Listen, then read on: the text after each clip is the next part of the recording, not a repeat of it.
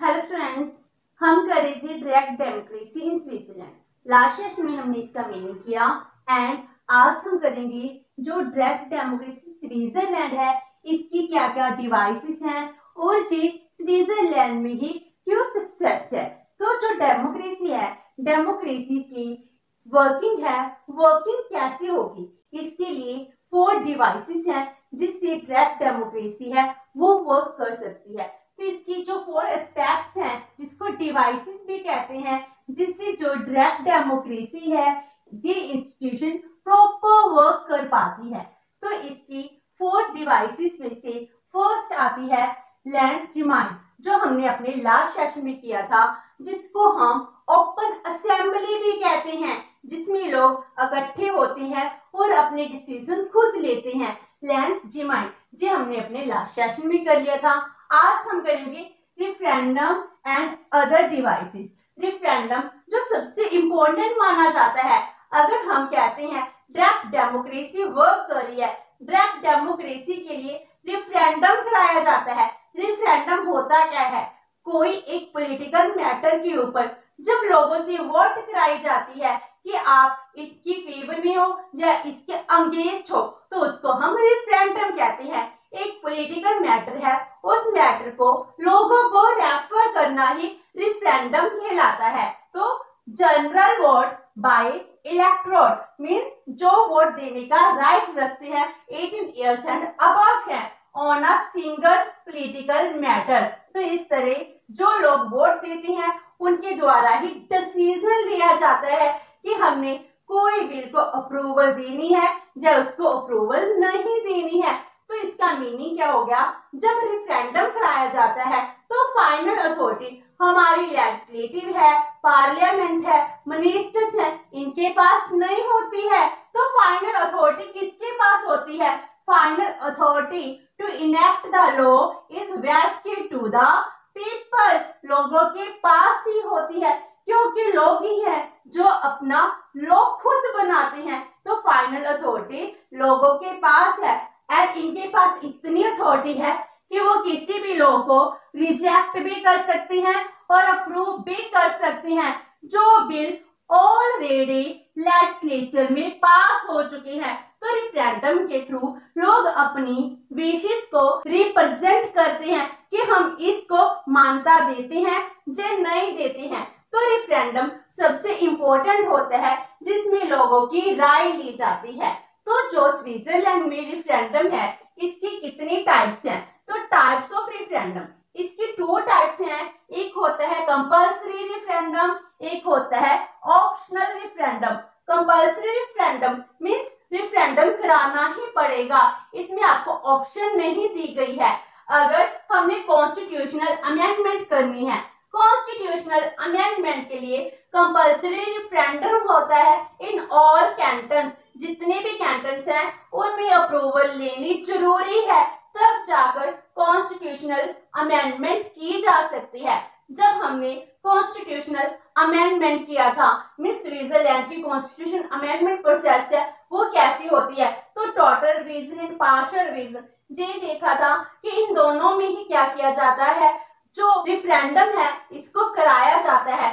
Total revision में तो ये भी प्रोविज़न है कि अगर टोटल रिवीजन का प्रपोजल है, लोगों के द्वारा इनिशिएट किया जाता है और उसको कोई एक हाउस क्या कर देता है रिजेक्ट कर दे और उसके बाद दोबारा से रिफरेंडम होता है। रिफरेंडम में अगर लोगों ने अप्रूवल दे दी, वो चाहते हैं टोटल रिवीजन ऑफ़ कॉन्स्टिट्यूशन हो तो जो फेडरल पार्लियामेंट है, उसको एक डिजोल्व कर दिया जाता है। तो टोटल रिवीजन में या पार्शल रिवीजन में भी रिफरेंडम का करवाना बहुत ज़रूरी है। उसके बिना आप कॉन्स्टिट्यूशन में अमेंडमेंट नहीं कर सकते। जो ऑप्शन रेफरेंडम है ये कंपल्शन नहीं है कि इस पर रेफरेंडम होगा या नहीं होगा। अगर लोग डिमांड करते हैं, तब रेफरेंडम कराया जा सकता है। जैसे जो फेडरल लॉस हैं इंटरनेशनल लॉस हैं, इन पर रेफरेंडम कराया भी जा सकता है, नहीं भी कराया जा सकता। कराया कब जा सकता है? अगर फिफ्टी थाउज़ेंड वोटर्स हैं एंड एट कैंटन्स हैं, वो डिमांड करते हैं कि जो फेडरल लॉस बनाए गए हैं, इन पर रिफरेंडम कराया जाए। तब जाकर ही रिफरेंडम होता है। इसका मीनिंग क्या हो गया? अगर कोई बिल अर्जेंट भी है, अगर उसको फेडरल पार्लियामेंट पास कर देती है तो वो बिल वन ईयर के लिए ही वैलिड होता है। उसके टाइम के बीच में आपको रेफरेंडम कराना पड़ेगा। अदरवाइज़ वो बिल ऑपरेट होना बंद हो जाएगा आफ्टर वन ईयर इसलिए जो ऑप्शनल रेफरेंडम है, जिसमें अगर वोटर्स एंड कैंटन्स डिमांड करते हैं, तभी रेफरेंडम कराया जाता है। Next cheese provision of referendum in cantons cantons में कौन कौन सी प्रोविज़न हैं? ये तो फेडरल लेवल पे था सेंट्रल लेवल पर था। जो कैंटन्स हैं कैंटन्स में भी थ्री टाइप्स से प्रोविजंस की गई हैं। अगर कॉन्स्टिट्यूशनल अमेंडमेंट है तो इसके लिए कंपल्सरी है सभी कैंटन्स में कि कॉन्स्टिट्यूशनल अमेंडमेंट के लिए आपको रेफरेंडम कराना पड़ेगा। अगर लेजिस्लेटिव बिल्स हैं, इसके लिए कंपल्शन भी है और ऑप्शनल भी है। कंपल्शन क्या है? टेन फुल कैंटन्स में एंड एक हाफ़ कैंटन्स में. ऑप्शनल कितने कैंटन्स में है? एट फुल कैंटन्स में एंड वन हाफ़ कैंटन्स में. जो बाकी हैं, उनमें क्या है? लैंड जिमाइन चलता है, जिसमें क्या है? ओपन असेंबली है और लोग खुद ही तो लॉ बना रहे हैं तो उसके लिए रिफरेंडम की ज़रूरत नहीं है. नेक्स्ट है फाइनेंशियल बिल जो देश का बजट होता है. कैंटन्स में जितने भी बजट होते हैं एक्सपेंडिचर है, उसके लिए रिफरेंडम 16 कैंटन्स में कंपल्सरी है। और ऑप्शनल कितने कैंटन्स में है? फाइव कैंटन्स में। जो बाकी फाइव कैंटन्स रह गए, उनमें लैंड की जो ट्रेडिशन है, वो प्रिवेल कर रही है। इस तरह वहाँ पर इसकी कंपल्शन नहीं है। तो ये हो गया रिफरेंडम। अब हम अपना नेक्स्ट करते हैं, इनिशिएटिव्स। इनिशिएटिव्स का मीनिंग क्या होता है? जब लोग इनिशिएट करते हैं, वो चाहते हैं जो लॉ है लॉ को चेंज किया जाए लॉ बनाया जाए। लोग खुद ही चाहते हैं कि ये बिल बनना चाहिए। लेजिस्लेटिव प्रोसेस में लोगों ने खुद इनिशिएट लिया। तो ये स्विट्जरलैंड में 1892 में इंट्रोड्यूस किया गया था। ये पॉजिटिव डिवाइस है, जिसमें लोग खुद इनिशिएट करते हैं। लेजिस्लेशन को मीन्स अगर मान लो उन्होंने कॉन्स्टिट्यूशनल अमेंडमेंट करानी है। चाहे टोटल रिविजन है, चाहे पार्शियल रिविजन है, लोग खुद भी इनिशिएट कर सकते हैं। वो चाहते हैं कि इसमें चेंज हो तो लोग जे बिल पास कराने के लिए पार्लियामेंट को कह सकते हैं। तो जो इनिशिएटिव किसके द्वारा लिया गया, लोगों के द्वारा लिया गया, इसीलिए इसको इनिशिएटिव कहा जाता है। अगर कॉन्स्टिट्यूशन की रिवीजन करानी है तो इसके लिए इनिशिएटिव कैसे होगा? तो कॉन्स्टिट्यूशन में दो तरह की रिवीजन हो सकती है, जैसे टोटल और पार्शल अगर कॉन्स्टिट्यूशन रिवीजन करानी है तो वन लैख स्विस वोटर अपने साइन कर कर फेडरल पार्लियामेंट को देते हैं।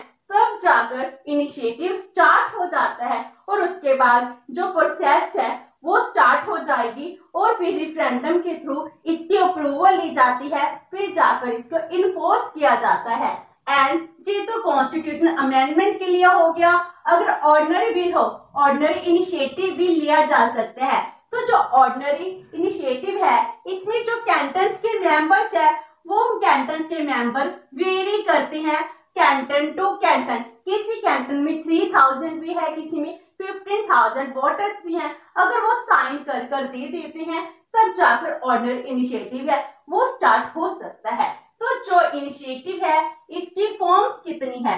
तो इनिशिएटिव की टू फॉर्म्स है formulative initiative and unformulated initiative formulated का मीनिंग हो गया कि उन्होंने जो बिल है, उसको अच्छे से ड्राफ्ट कर दिया। तो वो क्या बन गया? फॉर्मुलेटेड तो an amendment in the form of complete bill तो कंप्लीट बिल की फॉर्म में उन्होंने ड्राफ्ट कर दिया तो ये बन गई फॉर्मुलेटेड इनिशिएटिव जिसमें जो फेडरल चांसलर है, उसको जे फॉर्म ऑफ़ कंप्लीट बिल जो ड्राफ्ट बनाया था, वो दे देते हैं। तो फेडरल चांसलर है, वो सिग्नेचर को वेरीफाई करते हैं एंड उसके बाद जो टेक्निकल एस्पेक्ट्स हैं, वो देखते हैं उसके बाद वो पार्लियामेंट में भेजते हैं। अगर दोनों हाउसेस में पास हो जाता है, फिर रेफरेंडम होता है और उसके बाद जाकर जो जे बिल है, वो पास हो जाता है।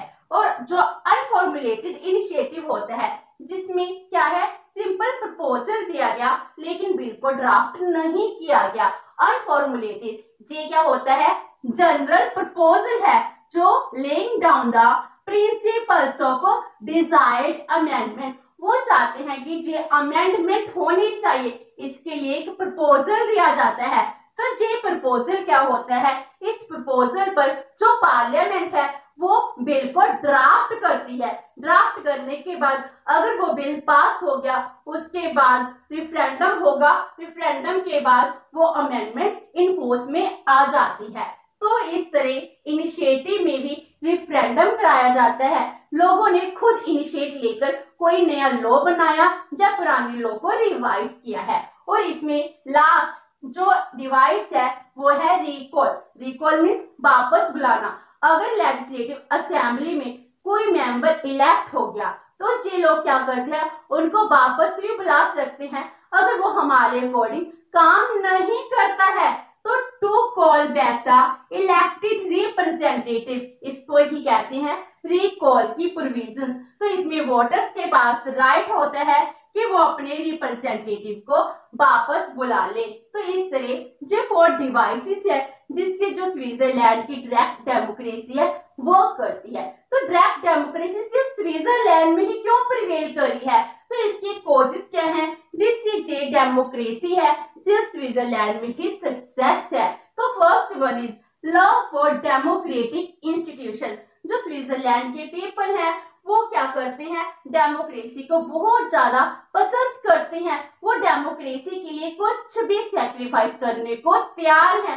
हिस्टोरिकल स्पोर्ट वो बहुत टाइम से जो डेमोक्रेसी है, इसकी इंस्टीट्यूशन को एक्सेप्ट करते आ रहे हैं। वो थर्टीन सेंचुरी से ही डायरेक्ट डेमोक्रेसी है, इसको अपनाते आ रहे हैं। हाई रेट ऑफ़ लिटरेसी वहाँ पर हंड्रेड परसेंट लिटरेसी है। जिस वजह से डायरेक्ट डेमोक्रेसी प्रॉपर वर्क कर पाती है। Absence of result party system लोग हैं, लोगों को रिज़ल्ट पार्टी सिस्टम से कोई मीनिंग नहीं है। वो भी पार्टी सिस्टम के लिए न्यूट्रल है। जैसे स्विस पॉलिटिकल सिस्टम न्यूट्रल है, वैसे लोग भी बहुत ज़्यादा न्यूट्रल है। सोशल एंड इकोनॉमिक इक्वालिटीज जो स्विट्जरलैंड है, इसमें बिल्कुल भी इनइक्वालिटीज प्रिवेल नहीं करती। सोसाइटी के लेवल पर भी इकोनॉमिक के लेवल पर भी। जब हमने इसकी इंट्रोडक्शन की थी, हमने यही कहा था कि Switzerland most equitable distributed country है।